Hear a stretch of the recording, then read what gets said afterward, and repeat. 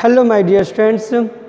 Now welcome back once again online classes. This is Eko Gupta your English faculty RCI School Bansur. So my dear students as we know that we have completed in the last video past perfect continuous tense. I hope you have understood and you have completed your homework. Okay next if we will talk about the next topic which is future indefinite tense. This is the lesson number 10 okay? So future indefinite tense what is telling us? What is telling us? This is tells us about the future an action which definitely uh, which will uh, which will complete in the future. For example like she will come tomorrow she will come tomorrow and um, he will come tomorrow in the school. Okay. I shall go delhi tomorrow. So uh, like uh, sir will teach us english grammar. Okay. And uh, if you will not complete your homework so principal sir will scold you. So it's mean whatever action is going to be happen in the future that is called a future uh, indefinite tense okay? Now here look uh, rule first. Rule first is ka ge and gi. Adi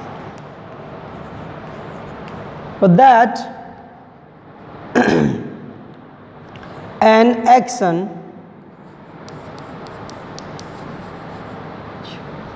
which happens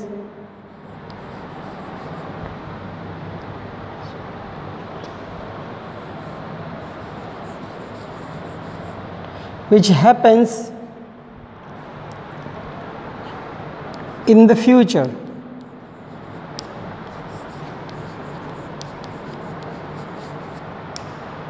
An action an action which happens in the future rule second subject plus subject plus subject plus shall shall will shall will plus first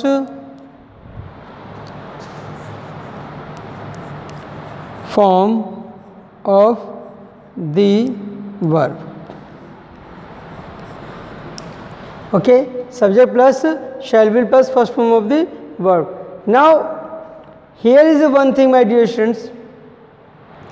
After this means if you have taken screenshot or if you have a stored in your mind so we can talk about uh, next thing. That is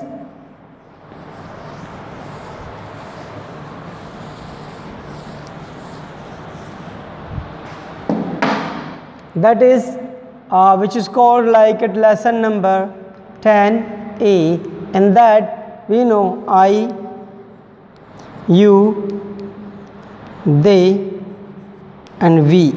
I shall you will. They will. We shall. Okay next. He she it name who. Okay so he will she will it will and this also will. So my dear students we know very well that we follow the british rule in british english language. So according to that according that we will apply here i shall we shall and rest all these subjects will include will be used with the will okay? I think you did you get it? Okay. Now uh, i mean to say there is a one situation which means where we are to apply shall and where we are to apply will. So remember always I and we will contain and we will uh, I and we both subject will be used with the shall. And rest means um, you, they, we, he, she, it, name, who these are will be used with the will. Uh, it's a very simple thing okay? So i hope you have got it and you remembered it okay? Let's see some examples for getting better understand. Okay my dear student?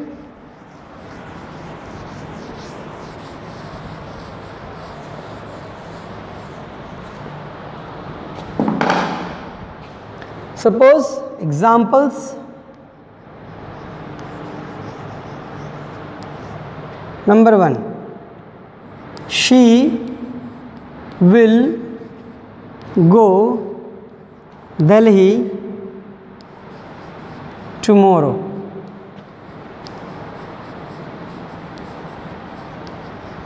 Okay. Second who will teach you English grammar. Okay, we will teach you English grammar and thereafter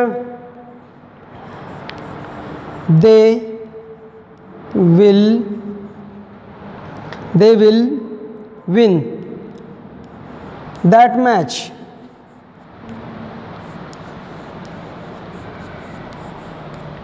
okay next.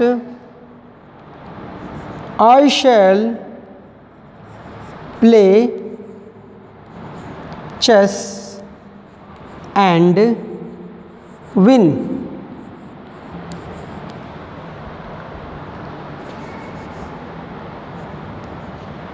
Okay I shall play chess and win. So these are some examples by these examples you can understand how you will use a future indefinite tense and how you can write future indefinite tense.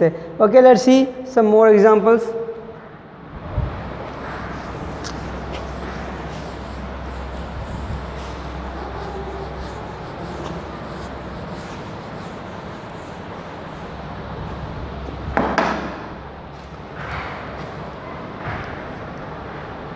We shall we shall clean the house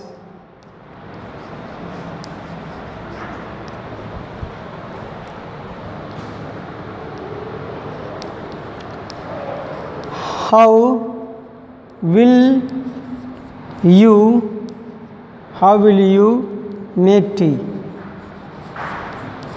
make tea for me. Okay?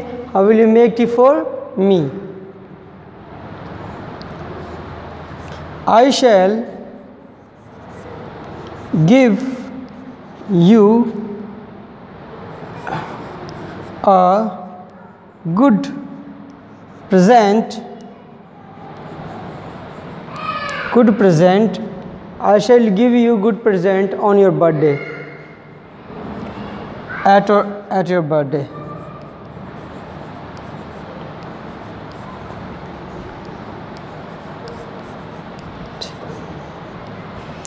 So i think you got it. I shall give you a good present at your birthday okay?